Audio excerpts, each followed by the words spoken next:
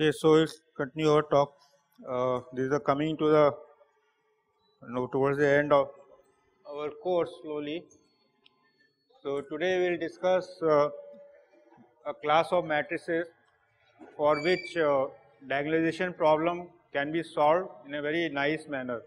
So we have been seeing some impor uh, uh, importance of eigenvalue problem and diagonalization and this collection of uh, a collection of matrices, a type of matrices for which a diagonalization problem it can be completely solved and in a especially nice manner. And moreover, these special matrices are very very often encountered in problems in engineering and physics and other sciences.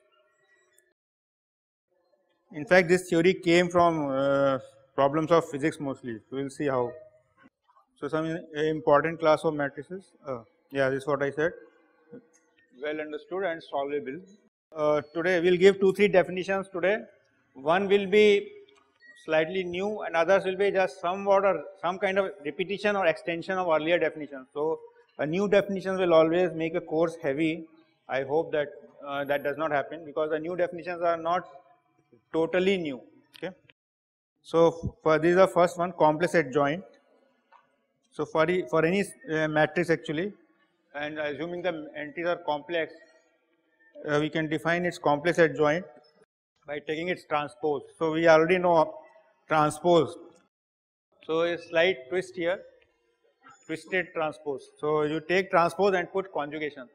Now if the matrix has real entries, then no change will take place. So in that sense, it's a, not a very new definition. For real matrix, it is same as transpose actually, because conjugation will not give anything new.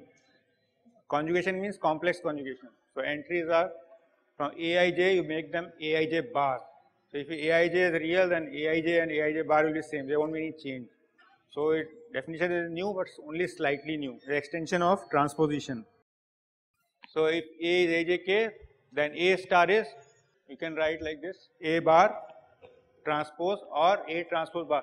You can take either transpose first and conjugate entries later or you can take conjugate first of the entries and transpose them later or you can do them simultaneously also, where the operation is equivalent. So BRS is ASR conjugate. So if entries are real, we just get the transpose. Now this is important uh, we defined one adjoint earlier, you should not confuse with that because though it is called complex adjoint, uh, we very soon will start calling it adjoint, just drop, suppress the complex, uh, like shortening names and all. Okay, so should not confuse adjoint A which defined earlier, which was transpose of the cofactors. Hmm? So this this adjoint A, then ADJ, is usage is almost zero in practice. It's hardly ever used. But this new adjoint we have we are studying that is extensively used and common in all all textbooks and all scientists uh, speak of adjoint they mean this our star adjoint so that this is this is more important adjoint for us. So complex adjoint. So uh, there are some uh, properties which satisfies the properties are common with the mostly common with the properties of transpose. And uh, some of them if you uh, writing these properties may probably insult your intelligence. Any but I am just writing it. So this is, these properties they are sort of lot of sort of left unsaid. Then also it's they are obvious properties. So anyway I list them for completeness. So multiply by scalar and then take transpose or, or conjugate uh, adjoint. Then you will get adjoint and then multiplied by the conjugate of the number. If of course if lambda is real you get just usual lambda times A star. Is another simple one. You already have seen it. AB transpose is B transpose A transpose. So there is nothing new.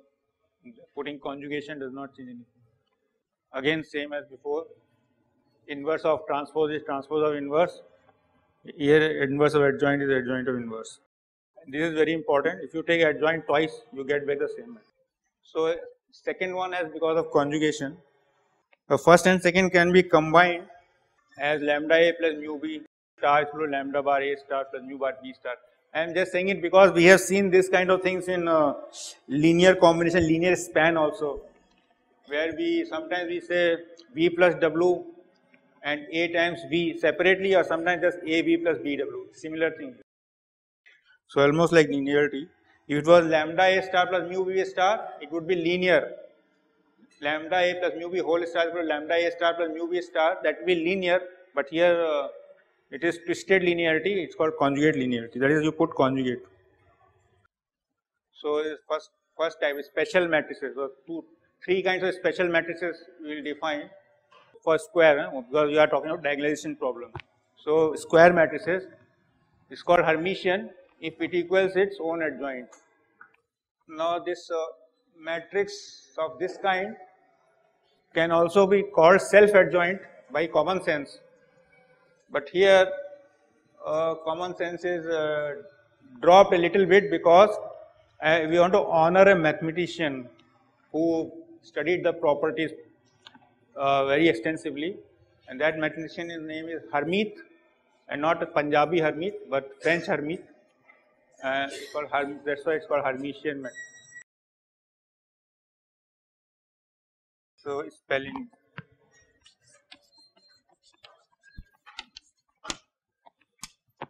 So to honor this uh, mathematician Hermite, we call these Hermitian uh, matrices.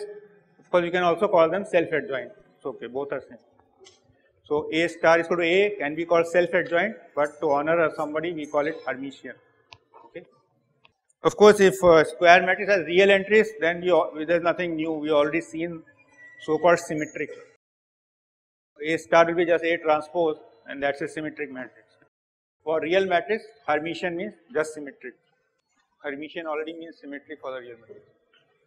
If you take complex matrix and take uh, symmetric ones, that is A transpose equal to A, then you don't get this property of diagonalization. Okay, that's slightly it's a tricky thing. If A transpose is equal to A for a complex matrix, then diagonalization, that property of diagonalizability can may not hold. That's why we need this Hermitian transpose uh, conjugation also. So this is a simple exercise which is actually an observation. In a Hermitian matrix, the diagonal entries are real numbers because they will stay wherever it is, wherever they are on transposition and on conjugation should remain same. So, should be real. Next is skew Hermitian. Skew Hermitian I did not define, but anyway I will define because from the name itself you should know it is negative or adjoint. Okay? So, A star is minus A. And of course, if matrix has real entries, then it is called skew symmetric that we already know. Again the same problem if uh, skew Hermitian already means symmetric and skew symmetric for real entries if, if entries are real and no need to define it separately. So show that the diagonal entries of a skew Hermitian matrix lie in IR that is they are purely imaginary numbers. So again same argument where on transposition the position does not change but it should become its negative that is the diagonal entries conjugate should be minus diagonal entry. Such a such number complex numbers are purely imaginary. And of course, it follows if it was a real entries, if the entries were real, that is skew symmetric, then all diagonal entries will be zero. I suppose you already know that. In case of real entries, all diagonal entries will be zero. And now this, this exercise will show that there is hardly any need to separately study skew Hermitian. So there is hardly any need to study skew Hermitian. If you Hermitians are easy to study, they have nice properties. Skew Hermitian is slightly twisted because IEA comes, but they are equivalent in some sense. That you need if you study Hermitian, that's enough. All the results can be obtained for skew Hermitian directly because of this property. A is skew Hermitian if only IA is Hermitian. And third is the unitary matrices, orthogonal unitary. So n by n uh, matrix is called unitary if it satisfies that is its adjoint is its inverse and in case of real entries it is called orthogonal and it satisfies that transpose is its inverse. So these these uh, matrices are important for uh, diagonalization problem as well as they have very nice properties. If you have a suppose a real matrix which is orthogonal and think of it as a map from Rn to Rn then the main property is which we are not going to prove or anything is that uh, as a map from Rn to Rn it preserves the metric. So basically it is either some rotation about origin or some reflection only these two kinds or combination of them. So only rotation and reflections. So these are the only uh, linear maps which preserve distances in Rn. Okay, uh, if you take a line segment of length, so unit length, and map it under the matrix A to uh, on the right hand side, say to another, it will go to another line segment because a linear map, but length will remain one only. And likewise, from here you can conclude that angles are also preserved. So these these uh, transpositions are like uh, congruences. They are special special kinds of transformation orthogonal matrices. That is why they are important. We will see their use in the diagonalization problem later.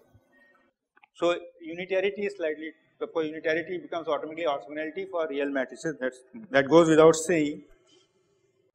So one simple exercise you can do is from here from definition itself you can see that modulus of determinant A is 1 if A is either unitary or orthogonal. So you take the defining equation, take determinant and then use the fact determinant of A transpose is same as determinant of A. Also determinant of A conjugate is same as determinant of A conjugated. If you do all, use all these properties then you will find modulus determinant A square equal to 1. You, you do it yourself that will be more uh, educational. Yeah.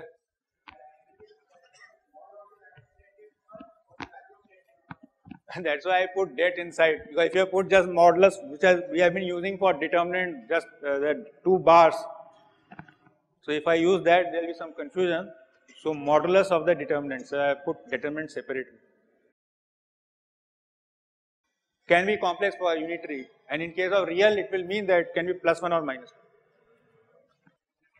So that is the reason that is if a, by definition you can see that the columns of the matrix A will be orthonormal, orthonormal basis of Rn or C. If in case of real this Rn. And what about rows? You can think about rows also.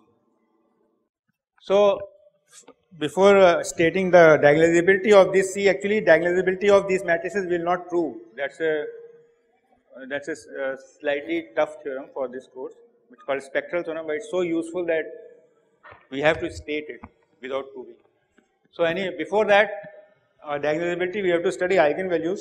So first, about these three kinds of matrices, the eigenvalues of Hermitian matrices are all real because it is like A star is equal to A. Think of it as A bar is equal to A somewhat. Then you will see that A, A self uh, skew, uh, is Hermitian or Hermitian or uh, self-adjoint matrices, they behave like real numbers in a complex plane. A star is equal to A. So it's not surprising the eigenvalues of a Hermitian matrix are real. Then what about skew Hermitian? Skew Hermitian means i times the matrix is Hermitian. So all eigenvalues along the imaginary axis. Of course, we need not study it separately, but in a standard course, these things are also studied uh, separately, just for probably for reinforcing the idea. So here, skew Hermitian matrices are in imaginary axis. In unitary matrix, the eigenvalues lie on the unit circle we can keep in mind a very simple diagram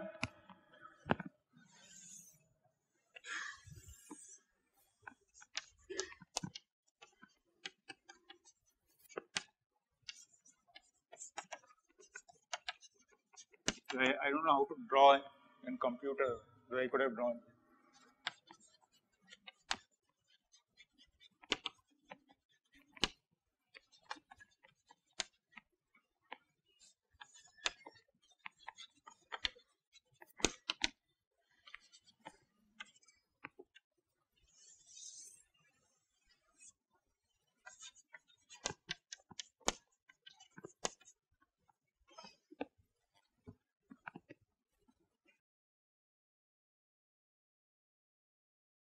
Okay, so this is, how, this is how eigenvalues are uh, situated. So, here is a unit circle in the complex plane. Proof uh, is not difficult. Suppose uh, lambda is an eigenvalue, then there will be an eigenvector. Everything now in Cn in general, in Cn. In case you are in real case and eigenvalue is also real, then you will be in Rn. Rn is also subset of Cn. So, we just write like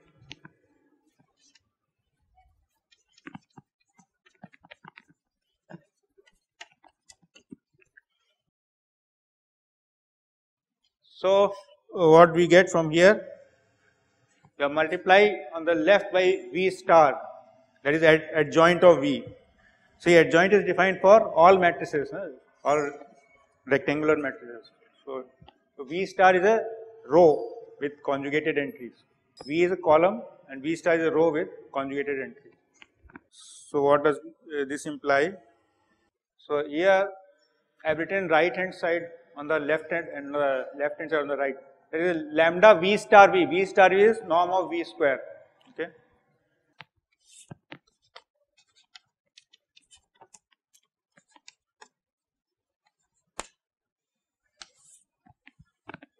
This is V star V.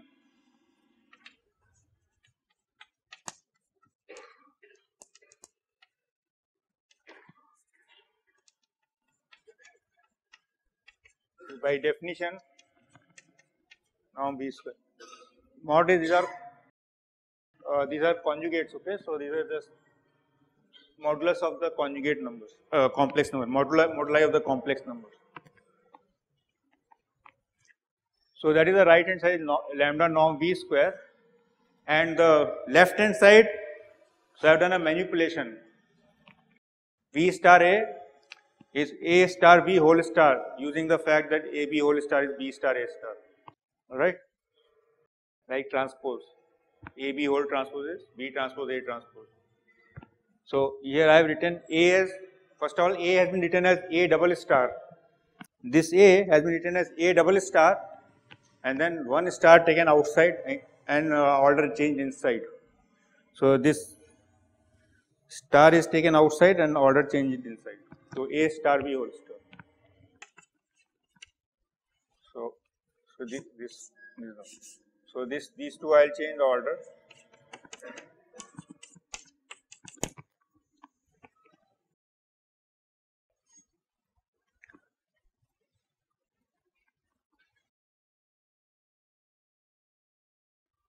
So, what we find is uh, if, if it is a Hermitian situation when A star is A that uh, expression in the bracket is just AB, so A star is A. If you have a skew Hermitian situation, then the expression inside the bracket is minus AB. And finally, if, the, if A is unitary, then the expression is A inverse V. So, in other words, lambda no, uh, V star V because AB was so, this is lambda v, huh? in all of them this is lambda v and this will be 1 by lambda v. This will be 1 by lambda v, this will be lambda v, this is lambda v, that is that's how we started. So, so that is what I am doing. First case lambda v, second case lambda with a minus and third case lambda inverse. And now we are through because we know v star v is norm v square. So, lambda v whole star is lambda bar, this is conjugate linearity and then V star V is norm V square. Okay, lambda V whole star is lambda bar V star conjugate linear. And minus lambda V of course is minus. Minus lambda bar norm V square. And other one is lambda bar inverse. And of course V is, is an eigenvector. So eigenvector is not not 0 so norm V square is strictly positive. And and uh, say non-zero. Non norm v square is non-zero, so it can be cancelled. So you can cancel it from both sides. So you will get lambda is equal to either lambda bar or minus lambda bar or lambda bar inverse, which means of course lambda is real or purely imaginary or of unit length. Alright. So we have used only one manipulation, this one you, you have to use this manipulation.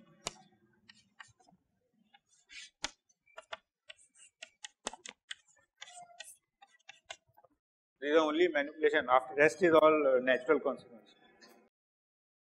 So the calculations which suggest themselves, and rest rest of the proof is calculations which suggest themselves. Uh, this is the only place two are there. One is multiplying by V star. Uh, this is first first uh, new idea and this second new idea is just putting like this. So two tricks are there in this problem.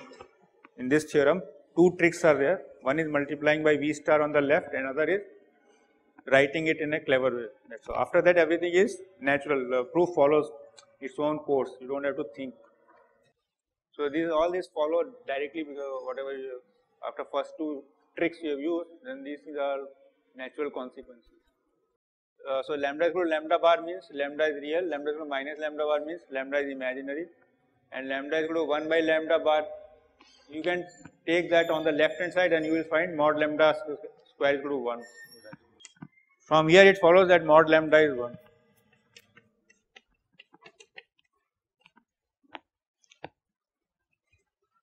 Okay. The third one is 1 by lambda bar. So if lambda is equal to 1 by lambda bar that means mod lambda square is 1.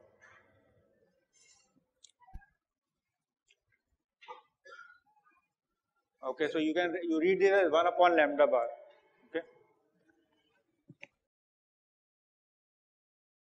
Lambda bar inverse means 1 by lambda. So let's see how to classify these and find eigenvalues. First we classify what is what about A Hermitian. Of course it is if it is known that it is one of these then seeing diagonal entry is real you can of course know that should be Hermitian. Maybe I should have put one which is, does not follow any of these. okay, so first one is Hermitian. Diagonal entries are reals and off diagonals are conjugates of each other. Second one is Hermitian or in fact real skew symmetry.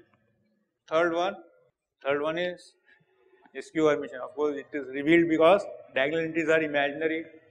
So it is you suspect skew Hermitian and off diagonal are negative of z bar negative of the conjugate. Off diagonal is negative of the conjugate. So that will make it skew Hermitian. Then D is uh, skew symmetric, the counterpart of skew Hermitian. You can also call it skew Hermitian. There is nothing wrong in that. It's also skew Hermitian or skew symmetric. And E, E is uh, unitary because you can see that uh, the columns are of length 1 because we said that for unitary matrices the columns will form an orthonormal basis in fact. So at least orthonormality you can see the entries are i by 2 and root 3 by 2 so in mod squares to sum you will get 1.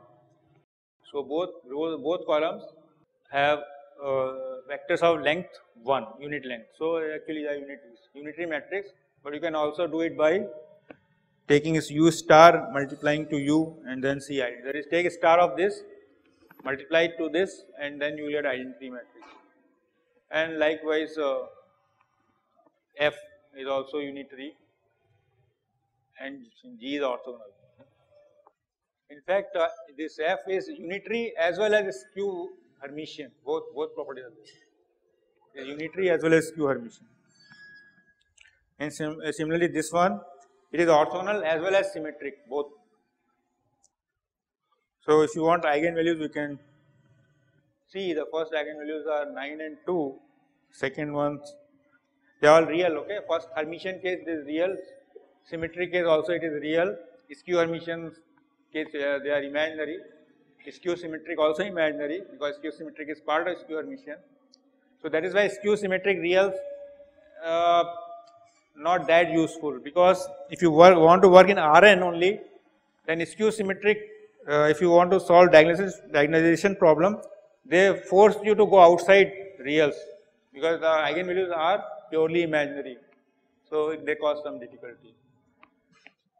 To, you do cannot stay in Rn and diagonalize skew symmetric. Then unitary matrices, you can see these are the eigenvalues and both are of modulus 1. Both eigenvalues have complex model, uh, that is uh, modulus as complex numbers is 1 real square plus imaginary square by uh, real square plus imaginary square equal to 1. For same thing is true for orthogonal side f and g is orthogonal and symmetric therefore eigenvalues have to be real as well as a modulus one. So, have to be only plus 1 minus. In fact, uh, this one uh, is, is, slightly interesting as an operator in R2. It is, it is reflection about some, some line. I do not remember which line. So, to know which line you have to find the eigenvector corresponding to eigenvalue 1. So, I, could have done it but I have not. Look at G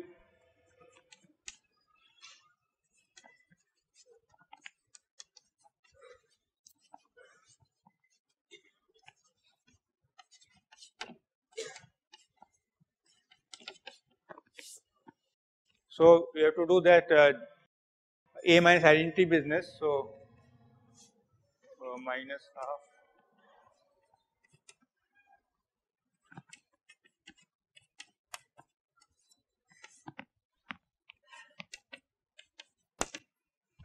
A minus identity, then you can uh, do this row reduction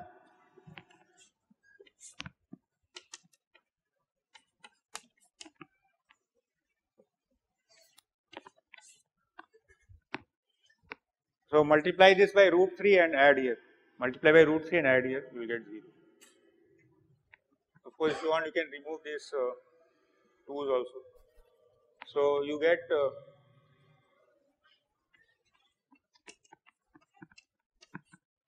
x equal to root 3 y or y by or, or y y equal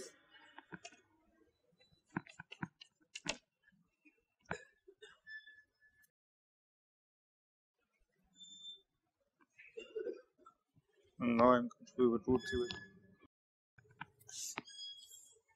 So, this uh, y is equal to root, x by root 3, root 1 by root 3 I suppose tangent of 30 degrees. So, this line here.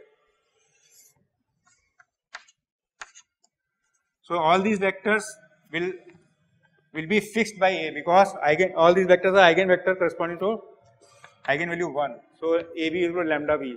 So, under A each vector will remain where it was. But what and then there is eigenvalue lambda equal to minus 1 and that will be this line orthogonal line. Why orthogonal? That I will not reveal now.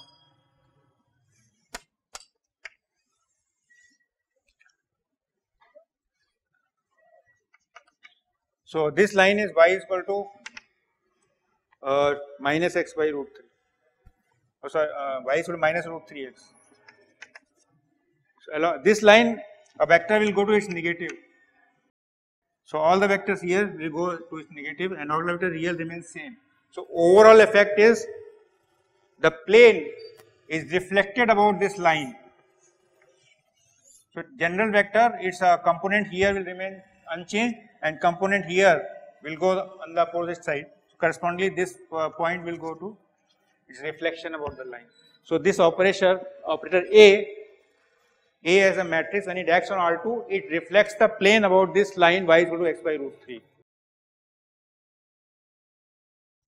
So that is the effect that is uh, so so what happens uh, when when it's just a pure reflection automatically all distances are preserved.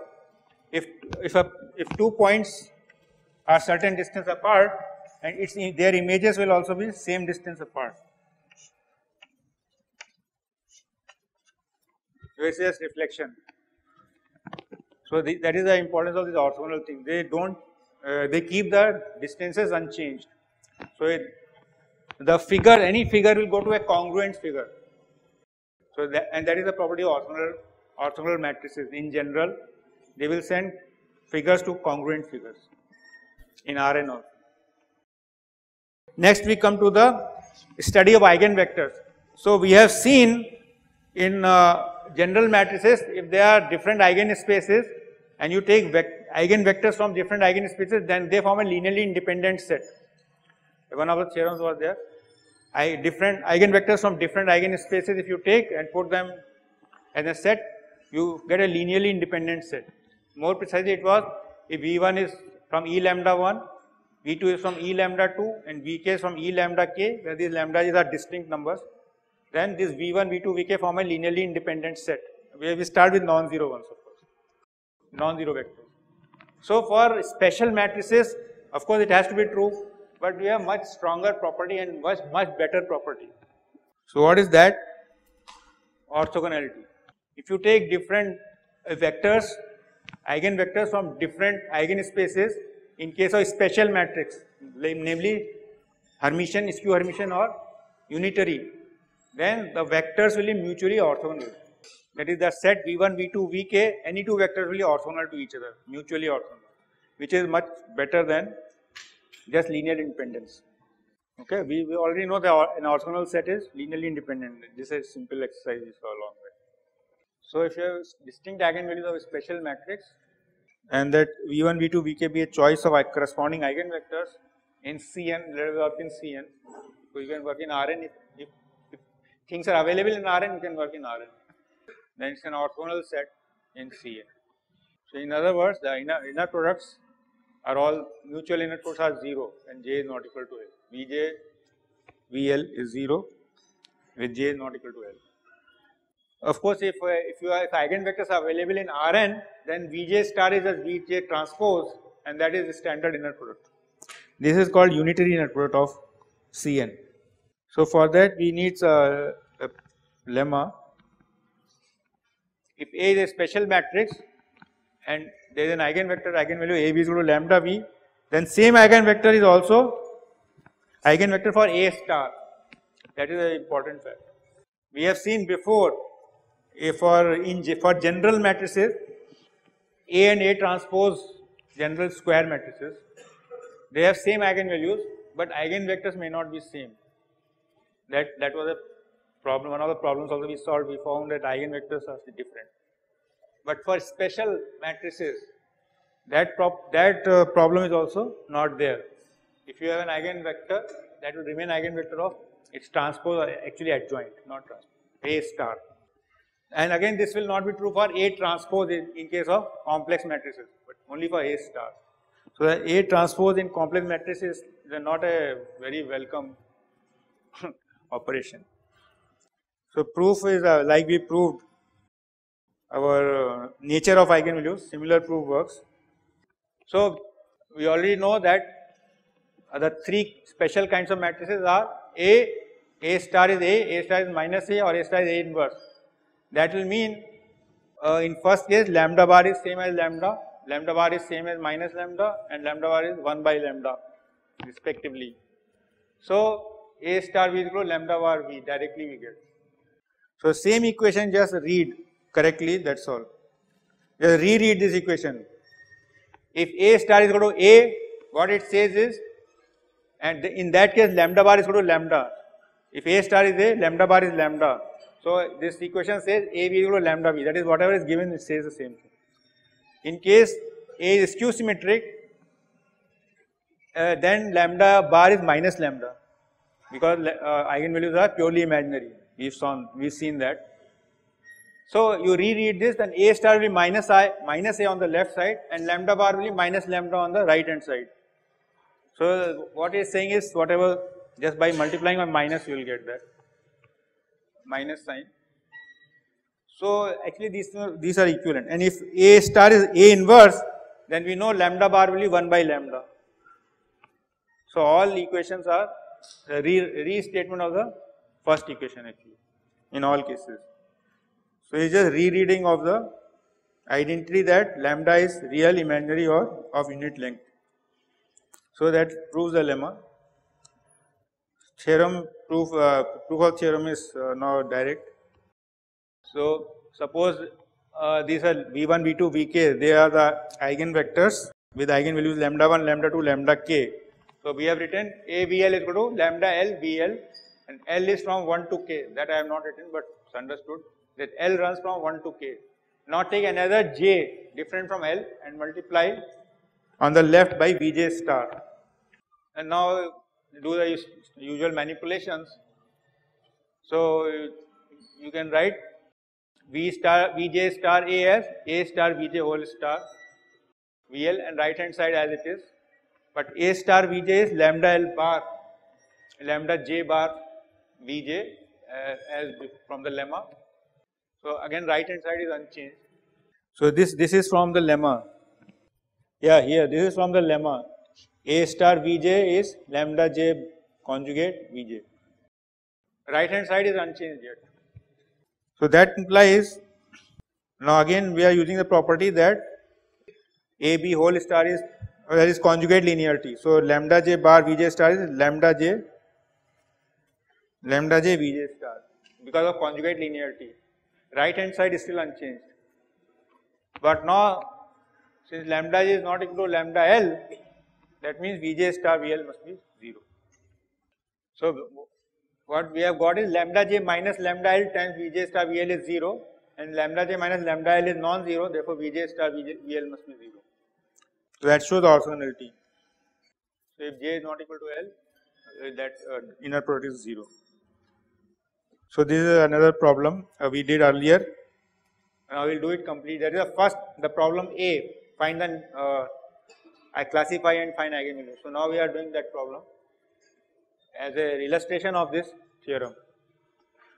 So this is a Hermitian matrix and you uh, proceed to find the eigenvalues and if you write the characteristic polynomial, you can write the characteristic polynomial using that same trick of using trace and determinant. So you, it will be uh, say lambda square minus trace, trace is uh, 11. So trace lambda square minus 11 lambda. Then compute the determinant, determinant will be uh, 28 minus that length uh, minus that length will come. So that be uh, 10. So 28 minus 10, 18. So plus 18. So you can directly write the characteristic for lambda square minus 11 lambda plus 18 is equal to 0. Then from there you can see lambda 9 and 2. Of course you can do minus lambda and take determinant. So we can do it here for your benefit.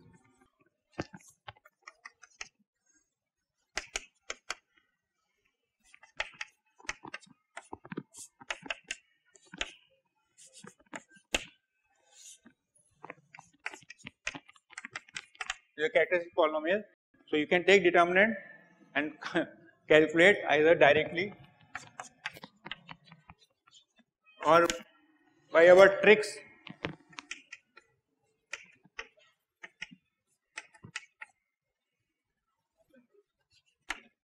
And the coefficient here is always 1 coefficient here is trace. Trace is a 7411 and here the coefficient is determinant. Determinant is 28 and then this plus uh, minus 10.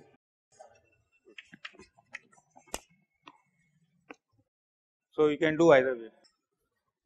So you can see that eigenvalues are 9 and 2 and then you can find the corresponding eigenvectors. So subtract 9 we will get and do some row operations. We will get uh, this row echelon form and one of the choice will be 1 minus 3i 5. So here we have taken x to be 5. So this is one of the choice and similarly for lambda 2 you can get this choice 3i minus 1 2 and then v1 star v2 there are eigenvectors from two different eigenspaces uh, you must know that they must be orthogonal because it is Hermitian matrix and uh, you can check also by taking the inner product or dot product. So dot product is V V1 star V2 that is uh, so V1 star is 5 and then comma 1 plus 3i okay. So when you write V1 star it is a V1 in the row form but conjugated. So sorry 1 plus 1 plus 3i 5 that is the V1 star 1 plus 3i 5 and uh, V2 is of course uh, as it is. So 1 plus 3i into 3i minus 1 plus 5 into 2 and that is 0. So I write here time is now almost over.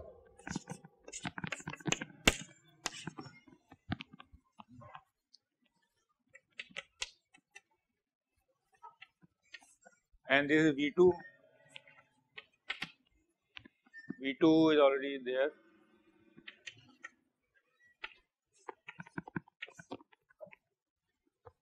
So this times this plus this into this. That is the inner product and that is 0. Of course, you can also check V2 star V1 if you want. It does not matter. V2 star V1 is what? Will be V1 star V2 its conjugate. And of course uh, conjugate of 0 is everybody knows what it is. I think that's enough today.